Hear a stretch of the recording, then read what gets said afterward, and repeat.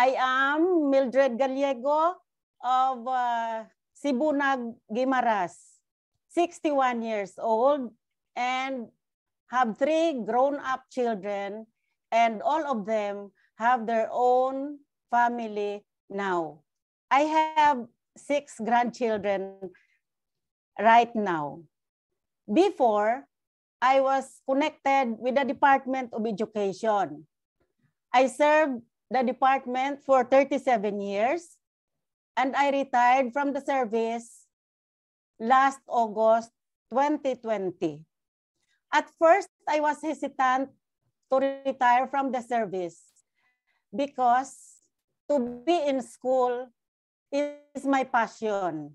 Although I have already reached the elusive age of retirement.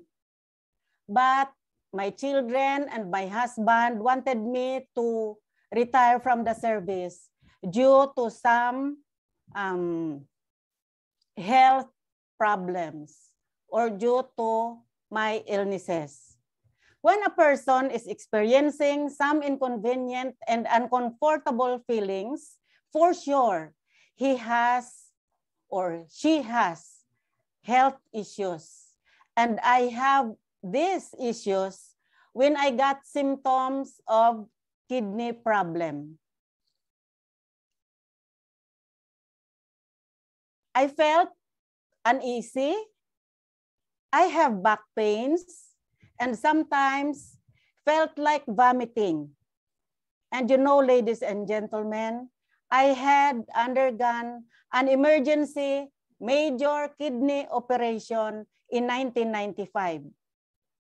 It was an inflamed mass in the ureter that blocked the waste to be excreted through the urine that caused me to experience those feelings.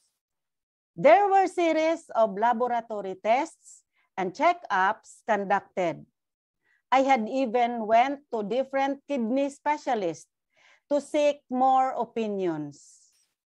When a kidney ultrasound was requested, it was found out that I had a staghorn kidney stone. It is a kind of stone that is hard and it grown big within my kidney. I had continuous medication and follow-up checkups. And later, I thought I already recovered.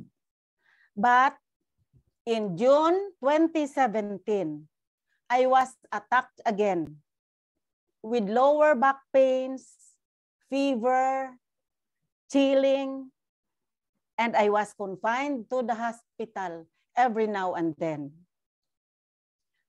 My daughter, who is a physician in Tacloban, picked me here in Guimaras and brought me to Tacloban and so that she could attend to me hands-on. When we were there in Tacloban, she referred me to a kidney specialist. We even waited for medical mission. But the last recourse is for me to go to NKT, NKTI Manila, the National Kidney Transplant Institute.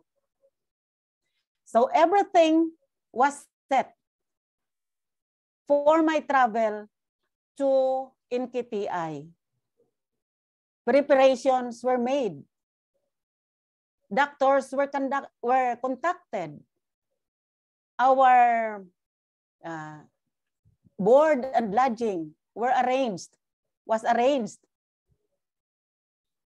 Everything was set only to find out that my, my body condition will not warrant due to a high, to a very high sugar level.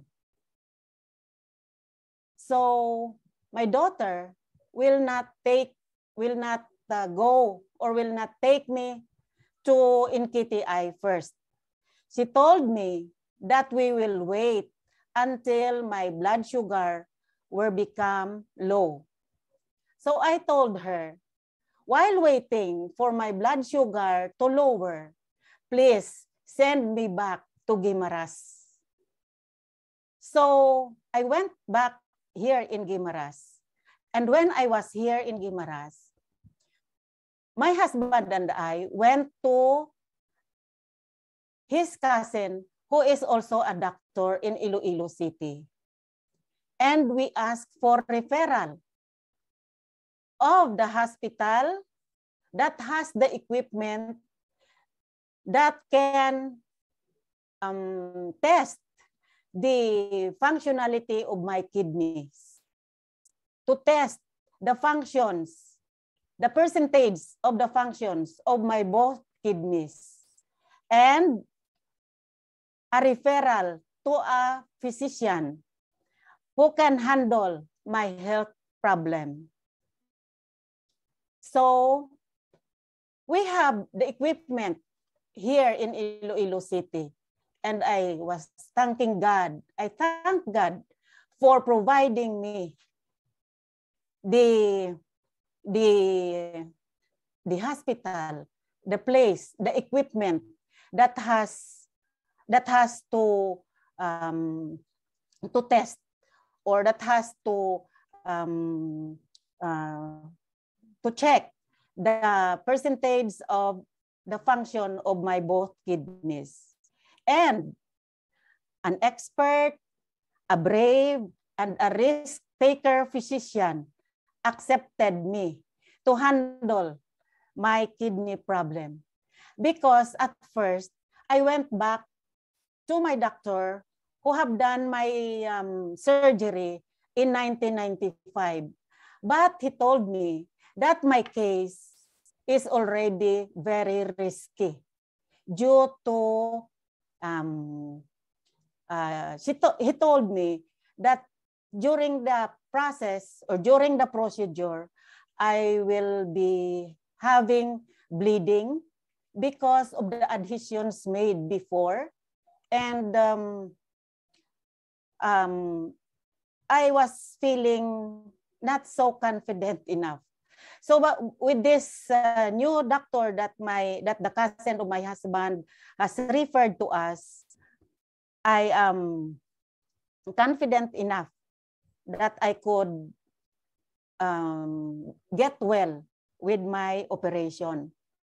So we scheduled or he scheduled a date for my um, procedure for the surgery out of the four physicians, three of them told me, Ma'am, please tell your surgeon to just remove your left kidney because I think that the process, the operation that we will be taking is very risky. And a night before the rounds, and the night before my schedule, the, the um, my physician have his rounds with me. So I told him what the three physicians had told me. And he his response gave me strength, give me um, um, eagerness, or give me the strong feeling and confidence to have or to have the procedure with him because she asked he asked me if I will remove your left kidney. And whatever will happen to your right kidney then we will have again another problem. Because of so many complications I have high blood sugar I have high blood pressure and some of the complications. So with that feeling I had with my physician, I have a fighting spirit to recover. So I trusted him and I recovered after a 10 long days of staying in the hospital. I was discharged from the hospital for only 10 days with my major uh, operation of uh, my left kidney. after that storm in my life, there was a little calmness. So calm after a storm, not calmness before a storm. Regular checkups were made. I took um, my um, maintenance medicines and my internal med physician was in charge of that. And another illness was discovered within me again. It was hypothyroidism. So again, she referred me to, another, to a total thyroidectomy in March 2020. And after that, supposedly, after a month, I will be having my radiation. But due to pandemic, we have lockdowns, we have border restrictions, and the medicines to be used for my radiation came or reached the hospital after six months. And during that time of waiting, I experienced so many feelings on my body. I have body aches. I have so much, I, I can feel so much fatigue. I cannot even comb my hair. Before, I have shown that our Mom Nova shown that picture that my husband, my loving husband, was the one combing my hair, especially after my bath. Because I, I feel very tired just combing my hair. Even during toothbrushing, I have to rest my arms because I felt very tired just in toothbrushing. I could not go up and down the stairs. I have to hold the railing to move my body up, then again to the next, then again. I have three canes used inside the house. It is situated on the different parts of the house where they are accessible when I'm going to, whenever I would like to go in the different uh, places, different parts of the house. I have to use the canes because I cannot walk well. I have to uh, have the help of other person. We are living in a very simple way of life. My husband only has a seasonal income sourced from his farming and a small fish pond. Since that time, our three children were in school. And there were and there were times that it was very hard for us to make both ends met. Due to expenditures from hospital bills, from school ex expenses, and other required expenses all our savings were used up. Imagine of having a major operations every other year, how it affects us financially. But we tried to recover and moved on because as they say, tomorrow is another day. It was in February 2021. A colleague of mine who is a friend of my upline now, Mr. Jose Cruz, introduced portier placenta to me. I was then sick. I could not move freely. I was very slow. And at first, I was very hesitant to take the product, even one bottle of the product, due to the price. We were devastated of expenses, and this time I have this um, portier placenta. And I was thinking, it's it's mahal. According to Sir to Sir Jose, malahalon.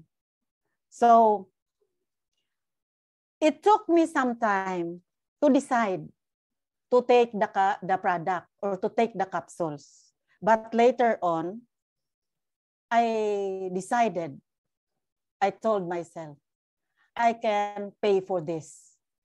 So I took two capsules in the morning and two capsules in the evening.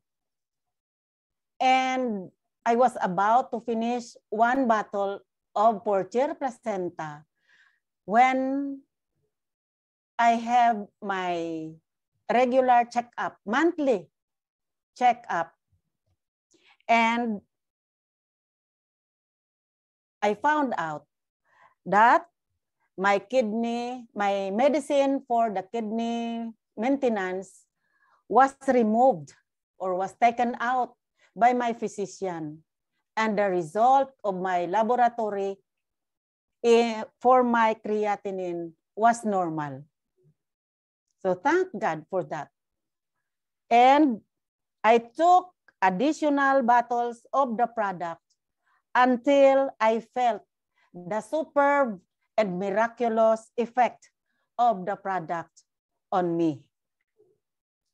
I become this time, I become energetic. I can go up and down the stairs. I, without holding the railing.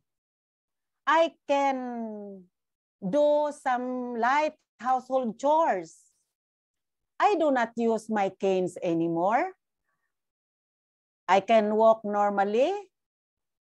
And later on, I became a certified plantita as my stress reliever.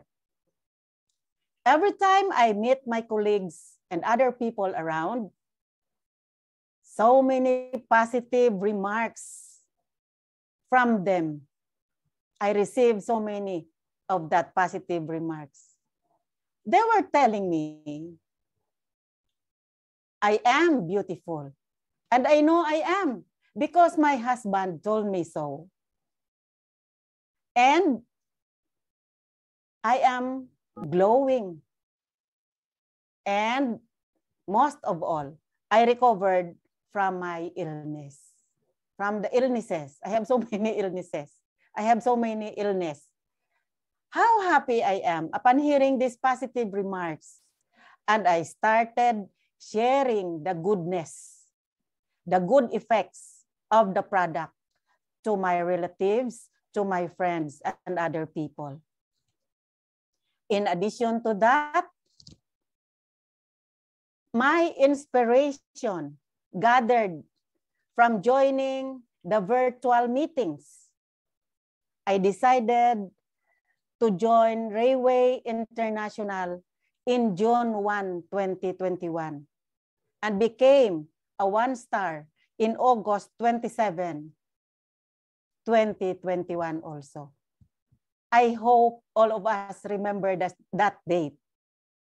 I am very thankful to Sir Ramon Ondo and his wife Fides for giving me one set free of Portier placenta.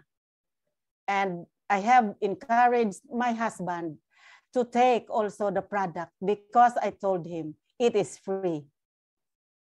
So guys, ladies and gentlemen in the Zoom room tonight, if God had given me all the chances of recovering from all my illnesses and strengthen me to be back on my feet again, I have a very strong feeling that He is providing me all the chances, protection, and guidance to continue to pursue another career path in joining the Railway International system so that I can continue to share and to spread and to help improve other people's lives and also their health conditions.